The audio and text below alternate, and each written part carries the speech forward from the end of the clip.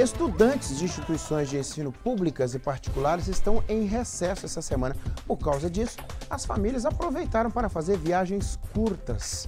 Isso deixa um alerta para quem vai pegar a estrada, viu? Falou disso ontem, né? É, o de levar o veículo para manutenção. Balança.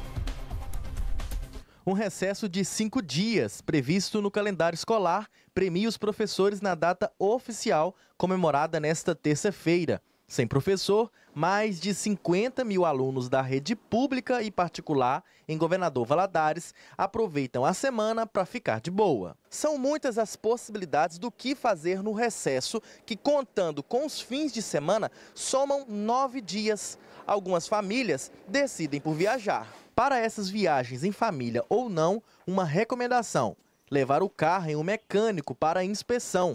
Tão cara, não pelo preço em dinheiro, mas sim pela importância da vistoria.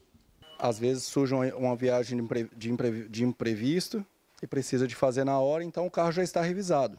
Caso não esteja revisado, levar na mecânica de sua confiança para fazer uma revisão.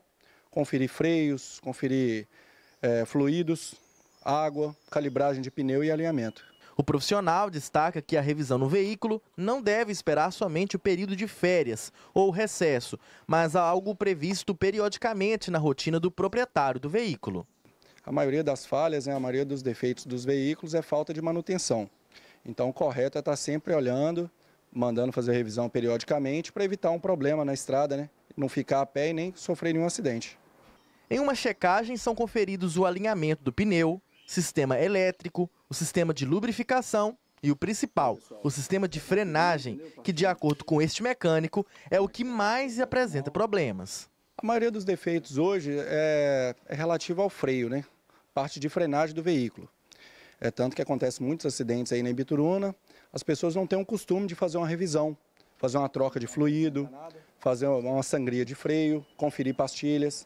Acha que está tudo normal, quando vai precisar mesmo, ele larga na mão. A vistoria do veículo, embora não obrigatória em todas as situações, é fundamental para garantir a segurança dele para circular.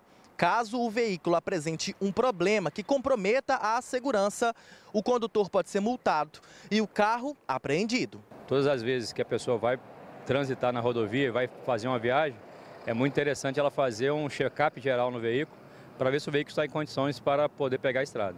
Se na fiscalização foi identificado qualquer problema no veículo, é, pneus gastos, amortecedor, sistema de freios, direção, tudo isso aí cabe uma notificação e podendo até, dependendo da situação, se for muito grave, o veículo pode até ir para o pátio do, do credenciado.